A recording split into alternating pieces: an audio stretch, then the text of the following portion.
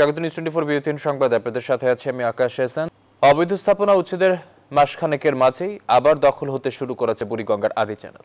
অভিযোগ আছে, নদীর তীরবর্তী জায়গার মালিকানার দাবির সুযোগ নিয়েই দখল অব্যাহত রয়েছে। এদিকে আদালতের রায় যথাযথভাবে মেনে নদীর সীমানা চিহ্নিত না করায় সমস্যা থেকে যাচ্ছে বলে মত পরিবেশবিদদের।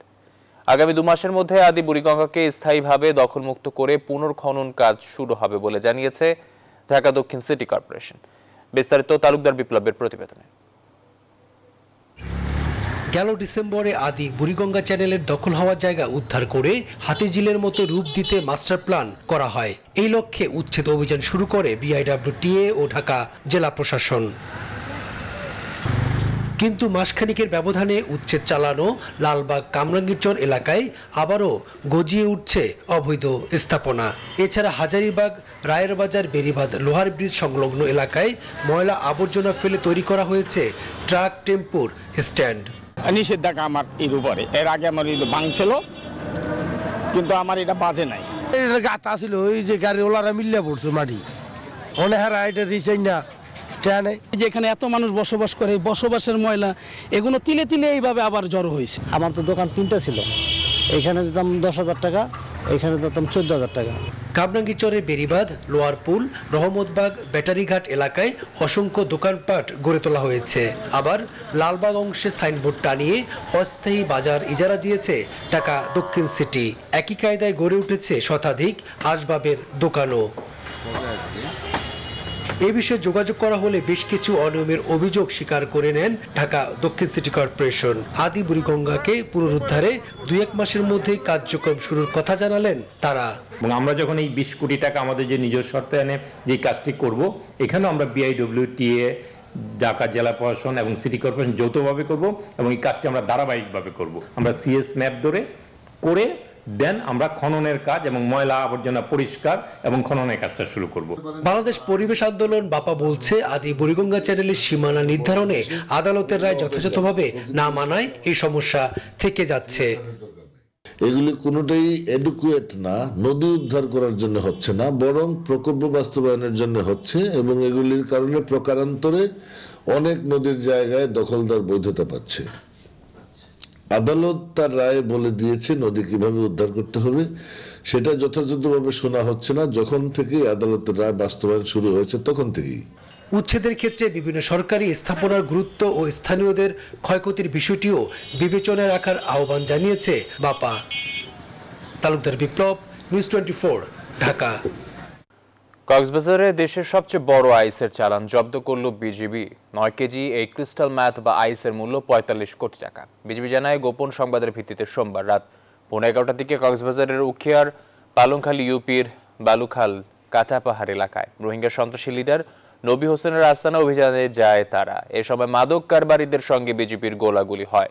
পরে পালিয়ে যায় মাদক ব্যবসায়ীরা। ঘটনাস্থল থেকে নয় কেজি ক্রিস্টাল ম্যাথ উদ্ধার করা হয়।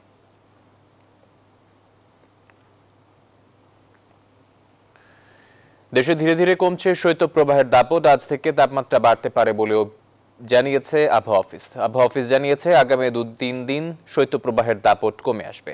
আকাশে মেঘ বেড়ে বাড়বে, মেঘ বেড়ে বাড়তে থাকবে তাপমাত্রা। তবে দু তিন দিন পর গুড়ি বৃষ্টি হতে পারে দেশের বিভিন্ন এলাকায়। এরপর আবারও তাপমাত্রা কমে শৈত্যপ্রবাহ শুরু হতে পারে।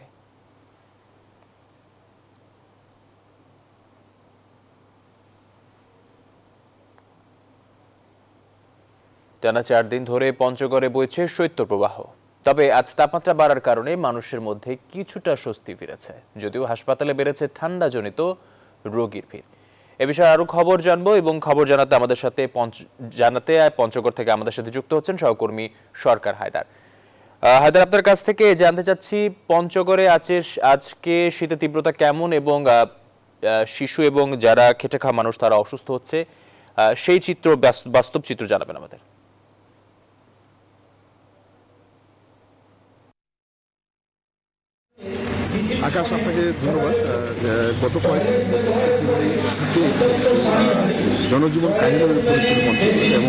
নানা ধরনের শীতজনিত রোগ দেখা দিয়েছিল। আজকে একটু তাপমাত্রা বেড়েছে, আমরা সকালবেলা জেনেছি তেঁতুলিয়া আবহাওয়া পর্যবেক্ষণ কেন্দ্র আমাদের জানিয়েছে যে তাপমাত্রা একটু বেড়ে আজকে সাত পয়েন্ট দুই ডিগ্রি সেলসিয়াস উন্নীত হয়েছে। কিন্তু হাসপাতালগুলোতে কিন্তু রোগীর সংখ্যা সেইটা আমরা খবর নিয়েছি তারা জানিয়েছেন যে প্রায় শিশু তারা ডায়রিয়ায় আক্রান্ত হয়েছে নিউমোনিয়া রোগী আক্রান্ত হচ্ছে এবং অন্যান্য যে হাসপাতালগুলো আছে উপজেলা কমপ্লেক্সগুলোতে সেগুলো শিশু এবং বয়স্করা কিন্তু ভর্তি হচ্ছে আমরা আজকে ভেবেছি যে আউটডোরে অসংখ্য শিশু এবং বৃদ্ধ, রোগী এর মধ্যে চিকিৎসা নিয়ে তারা ফিরে গিয়েছে। হাসপাতালগুলোর চেহারা হচ্ছে এরকম যে প্রতিনিয়ত শীত যত বাড়ছে, শীত বাড়লেই কিন্তু রোগীর সংখ্যাও বেড়ে যায় এবং অসংখ্য রোগী ভর্তি হয়। আমার কাছে এই ছিল সর্বশেষ শীতজনিত তথ্য। ফিরে যাচ্ছে আকাশ, আপনার কাছে। করোনা সংক্রমণ বেড়ে যাওয়ায় হাসপাতালে চাপ বাড়ছে ধীরে ধীরে। এসব বিষয়ে আরও খবর জানাতে যশোর থেকে যুক্ত হচ্ছেন সহকর্মী রিপন হোসেন। রিপন সীমান্তবর্তী এলাকা যশোরে করোনার রোগীর সংখ্যা কেমন দেখছেন এবং হাসপাতালের চিত্র কি বিস্তারিত জানাবেন।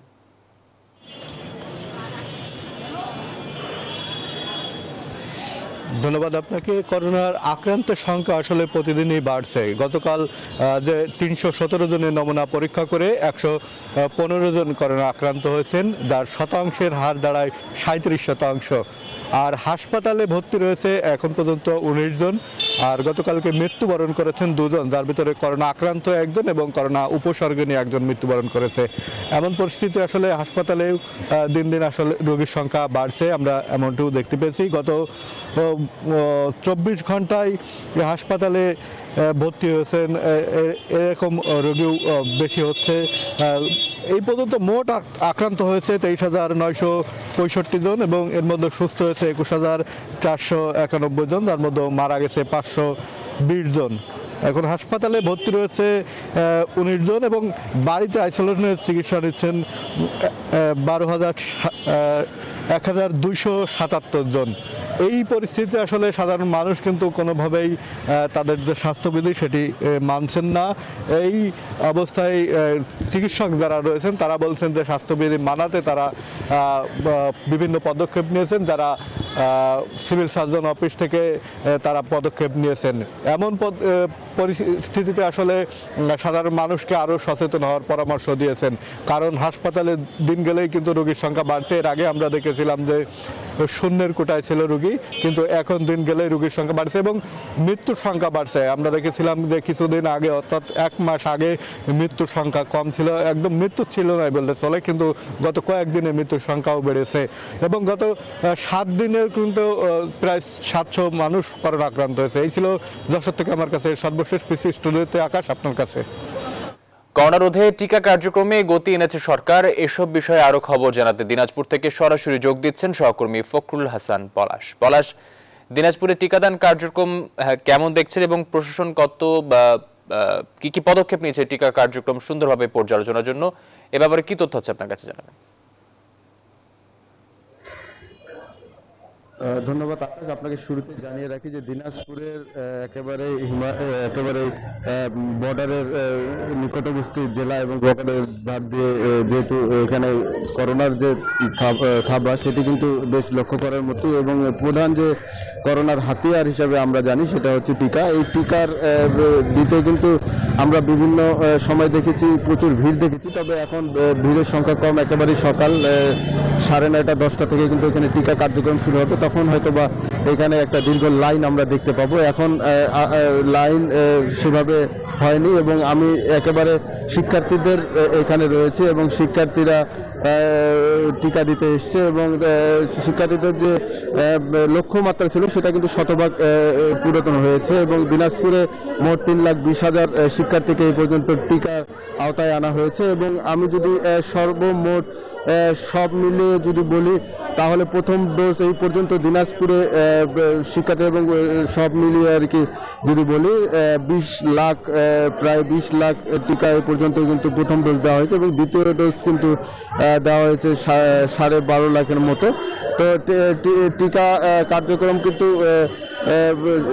খুব সুন্দরভাবে পরিচালনা হচ্ছে এবং এখানে কিন্তু সবাই আসছে এবং স্বতঃস্ফূর্তভাবে কিন্তু টিকা নিচ্ছে। টিকার যে ভিড়, আগে যেটা লক্ষ্য করেছিলাম বেশ কিছুদিন আগে, সেটা কিন্তু এখন নেই, অনেকটাই কমে গেছে। এখন লাইন আছে, খুবই অল্প, হয়তোবা সাড়ে নয়টা, দশটা থেকে কিন্তু এখানে টিকার কার্যক্রম শুরু হয়ে যাবে। তো দিনাজপুরের এই ছিল আমার কাছে টিকার সর্বশেষ, ফিরে যাচ্ছে আপনার কাছে, আকাশ। করোনা সংক্রমণ বাড়লেও কোনোভাবেই সচেতন হচ্ছে না সাধারণ মানুষ। এ বিষয়ের আরও খবর জানাতে কুষ্টিয়া থেকে সরাসরি যোগ দিচ্ছেন সহকর্মী জাহিদুজ্জামান। জাহিদ, দিন দিন লাফি লাফিয়ে বাড়ছে করোনা সংক্রমণ দিনাজপুরের অবস্থাও কি এবং এরপরও কেন মানুষ সচেতন হচ্ছে না? এ ব্যাপারে কি তথ্য আছে আপনার কাছে? বিস্তারিত জানাবেন।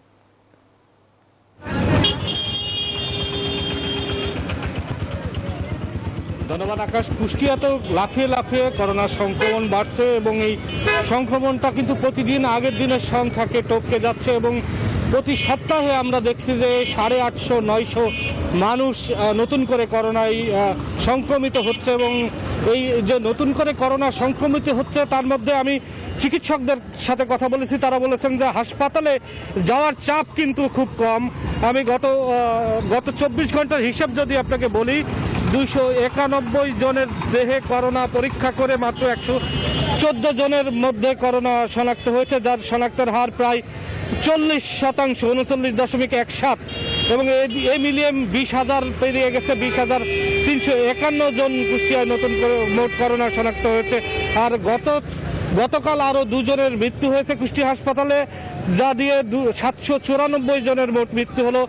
চিকিৎসকরা যেটা বলছেন যে হাসপাতালে এই যে অমিক্রণ ভেরিয়েন্টে হাসপাতালে আসার চাপ একেবারে কম, যদিও কুষ্টিয়া জেনারেল হাসপাতালে দুশো পঞ্চাশ শয্যার মধ্যে পঞ্চাশ শয্যায় করোনার জন্য রাখা হয়েছে। সেখানে এখন ছাব্বিশ জন করোনা রোগী চিকিৎসা নিচ্ছেন আর বাসা বাড়িতে চিকিৎসা নিচ্ছেন আরও তেরোশোর উপরে রোগী। এই যে এই যে করোনা সংক্রমণের হার চল্লিশের কাছাকাছি কোনো কোনো দিন চল্লিশ ছাড়িয়ে যাচ্ছে। তবে হাসপাতালে চাপ নেই। এই ব্যাপারগুলো নিয়ে বিশেষজ্ঞ চিকিৎসকরা আমা- আমা- আমা- আমাদেরকে বলেছেন যে মানুষের মধ্যে এক ধরনের সাহস তৈরি হয়েছে। সে কারণে কিন্তু আমরা স্বাস্থ্যবিধি মানতে দেখছি না। তারা কিন্তু একেবারেই মাস্ক ঠিকমতো পরছেন না। অর্ধেক মানুষই মাস্ক পরছেন না। তারা হাট বাজারগুলোতে স্বাস্থ্যবিধি মানছেন না। এবং প্রশাসন যে স্বাস্থ্যবিধি মানাতে যে উদ্যোগ নেওয়ার কথা, সেরকম উদ্যোগও কিন্তু আমরা চোখে দেখিনি, কিছুটা মাইকিং হয়েছে। তাছাড়া এর বাইরে আর আমরা তেমন কোনো উদ্যোগ আগে যেরকম ডেল্টা ভেরিয়েন্টের সময় একেবারে মাইকিং করে এবং এবং হচ্ছে তারা চেকপোস্ট বসিয়ে মানুষকে সচেতন করেছিল, সেটা দেখছি না। এই ছিল আমার কাছে কুষ্টিয়া থেকে করোনা সংক্রমণের খবর, চলে যাচ্ছে স্টুডিওতে, আকাশের কাছে। সাভারের গোলাপগ্রামে ছত্রাকের হানায় দুশ্চিন্তায় চাষিরা।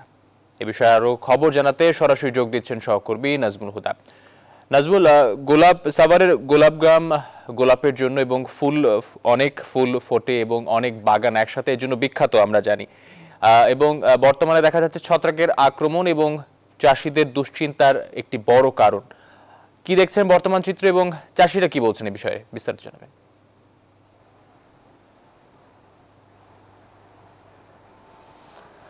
আকাশ, আপনাকে ধন্যবাদ। আপনি যেমনটি আমাদেরকে জানাচ্ছিলেন, এই মুহূর্তে রয়েছে আমি সাভারের গোলাপ গ্রামে। সেখানে কিন্তু যে এই গোলাপ গ্রামের যে ফুলগুলি আসলে একেতে করোনার যে থাবা, এই থাবার কারণে কিন্তু গোলাপ গ্রামের যারা চাষি, তারা কিন্তু ব্যবসায়ীরা মার খেয়ে যাচ্ছে এবং শীতেও কিন্তু প্রচণ্ড শীত পড়ছে এবং সেই সাথে কুয়াশা এবং গোলাপ গ্রামে কিন্তু আপনি দেখছেন যে এই এই যে গোলাপের যে পাতাগুলি কিন্তু আপনি দেখছেন যে এখন মরে এবং শুকিয়ে যাচ্ছে এবং পাতাগুলো কুচকিয়ে যাচ্ছে, যার কারণে গোলাপ কিন্তু কালো হয়ে যাচ্ছে এবং পাপড়ি কিন্তু কিন্তু একদম ঝরে যাচ্ছে এবং কালো এবং ফুটছে না, যার কারণে গোলাপ এখন যে গোলাপ গ্রামে রয়েছি, সেই গোলাপ গ্রামের আপনি দেখাচ্ছি। পুরাটা চিত্রই কিন্তু এখন আপনারা দেখছেন যে পুরাটা কিন্তু এখন ফুল যে শীতের কারণে আসলে একাতে ফুটছে না।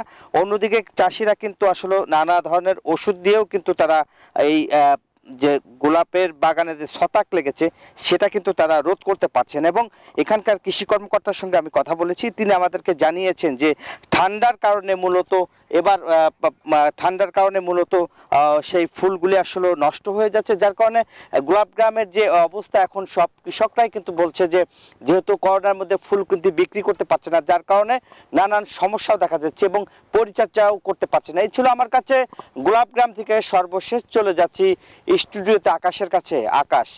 বাংলা বাঙালির আত্মপরিচয়ের মাস, ফেব্রুয়ারি। তবে শুধু ভাষার মাসে নয় একুশ শক্তি যোগায় সারা বছর ধরে। দূরপাড়াগের সাধারণ নাগরিকদের ভাবনা, সর্বস্তরে বাংলার নিয়মিত চর্চাই পারে প্রজন্ম থেকে প্রজন্মে মায়ের ভাষার মর্যাদা ও সম্মান টিকিয়ে রাখতে। ভাষার মাসের প্রথম দিনে গ্রামগঞ্জ ঘুরে এসে ভাষা চেতনার কথা জানাচ্ছেন বাবু কামরুজ্জামান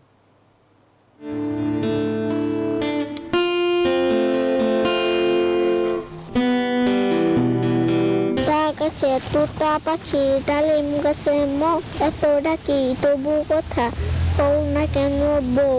মাঘের শীতের সকালে সোনাঝরা মিষ্টি রোদ্দুর। নরম সে রোদে মাখিয়ে বাড়ির উঠোনে মাদুরে বসে মায়ের ভাষায় ছড়া কাটছেন ছোট্ট মালিহা। সাথে পঞ্চম শ্রেণি পড়ুয়া ভাই রাহিম তখন পড়ে যাচ্ছেন থাকব না কো বদ্ধ ঘরে।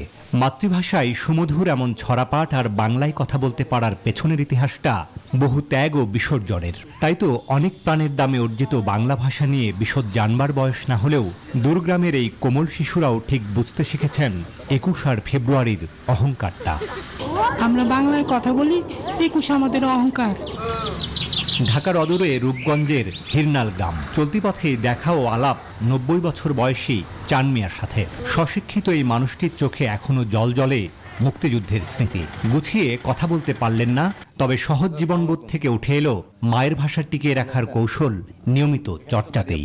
কেমন লাগে বাংলা ভাষায় কথা বলতে? খুব ভালো বাংলা ভাষাটা আসলে কীভাবে টিকে থাকতে পারে? বাংলা ভাষা নিজের ভাষা। এটা ঠিক থাকবে। একুশ মানে মাথা নত না করা, একুশ মানে এগিয়ে যাওয়া। তাই তো একাত্তরে স্বাধীনতার আকাঙ্ক্ষার ছোট গল্প উপাখ্যান হয়ে ওঠে বাউন্নর বর্ণমালার লড়াইয়ের হাত ধরেই। বিশ্বায়ন আর নগরায়নের গতির সাথে পাল্লা দিয়েও পল্লীগ্রামের খেলার মাঠে কিংবা তারুণ্যের উচ্ছ্বাসে ভাষাপ্রেম টিকে আছে গৌরবে। ভাষাই যখন পরস্পরের ভাব বিনিময়ের সবচেয়ে বড় মাধ্যম, তখন ভাষাপ্রেম কেবল ফেব্রুয়ারি নয়, তা হয়ে উঠুক বছরব্যাপী। বাংলা ভাষার যে একটা তৃপ্তি মাধুর্য এটা অন্য কোনো ভাষায় পাওয়া কোনো দিনই সম্ভব না। ইংরেজিকে আমরা অবহেলা না করে বাংলাকে আরেকটু গুরুত্ব দিলে বাংলা ভাষা সম্পর্কে আমাদের সঠিক জ্ঞান অর্জন সম্ভব হবে বাংলা ভাষা ব্যবহার করাও আমাদের কাছে আরও প্রিয় হয়ে আসবে। সংস্কৃতির বহুমুখী উচাটনেও ফিরে আসে ভাষার মাস। গ্রাম থেকে গ্রামে স্মৃতির মিনারে বটবৃক্ষের ছায়ায় মানুষের মুখে মুখে সগর্বে টিকে থাকে মায়ের ভাষা। শতবর্ষে এই বটবৃক্ষ যেমন ছায়া দিচ্ছে, ছড়াচ্ছে বিশুদ্ধ বাতাস, তেমনি মায়ের ভাষা মিশে আছে আমাদের অস্তিত্বে, আমাদের নিঃশ্বাসে। একুশ মানে তাই তো শেকড়ের কাছে ফেরা, মায়ের কাছে ফেরা। বিশ্বায়নের কালেও অনেক দামে কেনা মায়ের ভাষার চর্চা এবং মর্যাদা রক্ষার নাগরিক দায় আমাদের সকলের। Babu Kamruzzaman news twenty four Rupganj Narayanganj মিয়ানমারের নির্বাচিত সরকারের উৎখাতের এক বছর পূর্ণ হলো আজ। অভ্যুত্থানের পর থেকে সামরিক জান্তার নিপীড়নে রক্তাক্ত ক্র্যাকডাউনে পরিণত হয়েছে দেশটি। আর যত দিনে যাচ্ছে, আরও ঘনীভূত হচ্ছে সংকট। এক বছর পূর্তিতে নতুন করে নিষেধাজ্ঞা আরোপ করল বাইডেন প্রশাসন। চন্দ্রনে চন্দ্রার ডেস্ক রিপোর্ট। দু হাজার একুশ সালে পহেলা ফেব্রুয়ারি নির্বাচনে জালিয়াতির অভিযোগ এনে মিয়ানমারের শীর্ষ নেত্রী অং সাং সুচিকে সরিয়ে ক্ষমতা দখল করে নেয় দেশটির সেনাবাহিনী। আটক করা হয় সুচি, প্রেসিডেন্ট উইনমিল্ট মিল্ট এবং এনএলডির জ্যেষ্ঠ নেতাদের। জারি করা হয় জরুরি অবস্থা। অভ্যুত্থানের প্রতিবাদে বিক্ষোভে ফেটে পড়ে পুরো মিয়ানমার। বিক্ষোভকারীদের দমাতে সামাজিক যোগাযোগ মাধ্যম ও ইন্টারনেট সংযোগ বন্ধ করে দেয় সেনাবাহিনী। এর পরেও গণতন্ত্রের দাবিতে রাজপথে সোচ্চা ছিল বিক্ষোভকারীরা। তাদের দমাতে ব্যর্থ হওয়ায় বিক্ষোভকারীদের উপর গুলি চালায় সেনাবাহিনী। এতে নিহত হয় বেশ কয়েকজন আন্দোলনকারী। এদিন জাতিসংঘের উপমুখপাত্র ফারহান হক মিয়ানমারের জনগণের গণতান্ত্রিক আকাঙ্ক্ষা এবং রোহিঙ্গা সহ সকল সম্প্রদায়ের সুরক্ষার জন্য সংহতি প্রকাশ করেছেন। চলমান সংকটে যারা সরাসরি জড়িত, মিয়ানমার সেই নাগরিকদের কণ্ঠস্বর শোনার পাশাপাশি সমস্যা সমাধানের আহ্বানে জানিয়েছেন জাতিসংঘ। এরই মধ্যে অভ্যুত্থান বিরোধী নেতারা ছায়া সরকার প্রতিষ্ঠা করেছে। আর জান্তা সরকারের প্রধান মিং অং হাইং দু হাজার তেইশ সালের মধ্যে নির্বাচন অনুষ্ঠানে প্রতিশ্রুতি দিয়েছেন। এরপরেও মিং হং হাইংকে বাদ দিয়েই আসিয়ান সম্মেলনে অংশ নেয় দক্ষিণ পূর্ব এশিয়ার রাষ্ট্রনেতারা। এছাড়া দমন, নিপীড়ন, সহিংসতার ঘটনায় জান্তা সরকারের উপর নিষেধাজ্ঞা জারি করতে থাকে একের পর এক দেশ। দেশটির সামরিক অভ্যুত্থানের এক বছর পূর্তিতে নিষেধাজ্ঞা আরোপ করে বাইডেন প্রশাসন। সোমবার এই নিষেধাজ্ঞার মধ্যে আছে দেশটির অ্যাটর্নি জেনারেল ও সুপ্রিম কোর্টের প্রধান বিচারক। চন্দ্রানী চন্দ্রা নিউজ টোয়েন্টি খেলার খবর। আজ পর্দা নামছে বিপিএল এর চট্টগ্রাম পর্বে। দিনের প্রথম ম্যাচে কুমিল্লা ভিক্টোরিয়ান্সের বিপক্ষে মাঠে নামবে মিনিস্টার গ্রুপ ঢাকা। ম্যাচটি শুরু হবে বেলা সাড়ে বারোটায়। আর দিনের দ্বিতীয় ম্যাচে স্বাগতিক চট্টগ্রাম চ্যালেঞ্জার্সের মুখোমুখি হবে ফরচুন বরিশাল। এই ম্যাচটি শুরু হবে সন্ধ্যা সাড়ে পাঁচটায়। কুমিল্লা ভিক্টোরিয়ান্স এখন পর্যন্ত খেলেছে তিনটি ম্যাচ, আর সেখানে শত ভাগ জয়ে তারা টেবিলের শীর্ষে রয়েছে। বিপরীতে মিনিস্টার গ্রুপ ঢাকা পাঁচ ম্যাচ খেলে জয় পেয়েছে দুটি ম্যাচে, হেরেছে তিনটিতে, রয়েছে টেবিলের চারে। বিপরীতে দিনের দ্বিতীয় ম্যাচে মাঠে নামা নামতে যাওয়া স্বাগতিক চট্টগ্রাম এখন পর্যন্ত খেলেছে বিপিএল এর সর্বোচ্চ ছটি ম্যাচ। সমান তিন জয় আর হারে রয়েছে টেবিলের দুইয়ে। আর সাকিব আল হাসানের ফরচুন বরিশাল পাঁচ ম্যাচে তিন জয় টেবিলের তিন থেকে শিরোপার জয়ের স্বপ্ন বুনছে